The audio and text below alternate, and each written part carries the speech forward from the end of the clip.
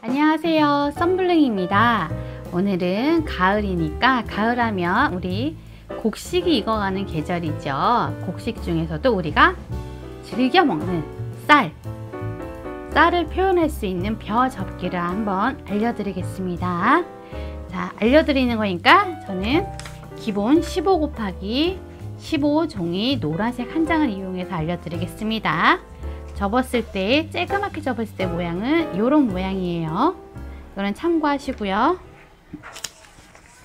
먼저 삼각 접기를 해주세요. 양 옆으로. 꾹꾹. 또 반대편도 또 삼각 접기를 해주세요. 접으셨죠?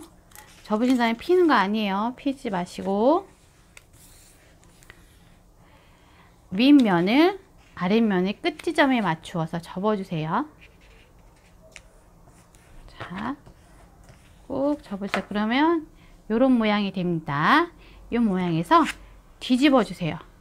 뒤집어 주신 다음에 가운데 여기 우리 삼각 접기한 가운데 선에 맞추어서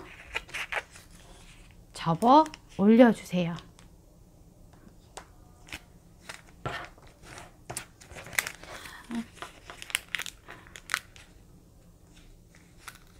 반대편도 접어주시고요. 자, 접으면 이런 모양이 되는데요. 이 모양을 그대로 평면으로 하실 거면 이 모양을 그대로 똑같이 3개나 2개를 접어서 밑에 붙여주시면은 벼가 표현이 되고요. 이거를 좀 내가 입체를 하고 싶다 그러면 반을 접어주세요. 반을 접어 주셔가지고 요 가운데에 손을 집어 넣어서 펼쳐 주세요. 그러면 요런 모양이 되거든요. 요거를 똑같은 거를 3개나 2개를 접어서 사이사이에 요 벌어지는 사이에 풀칠해서 끼우시면은 요런 모양이 됩니다. 보이세요?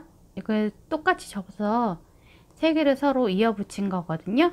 요런 모양을 해주시면 별을 표현하실 수가 있습니다. 우리가 왜 그림을 그리거나 아이들랑 할 때 열심히 허수아비를 접고 하긴 하는데 정작 별은 표현을 잘 못할 때가 많잖아요. 아니면 코스모스를 그리거나 그래서 이번 기회에 아이들과 간단한 벼 적기를 이용해서 우리 활동을 하는 것도 참 좋을 것 같습니다. 지금까지 썬블링이었습니다. 감사합니다.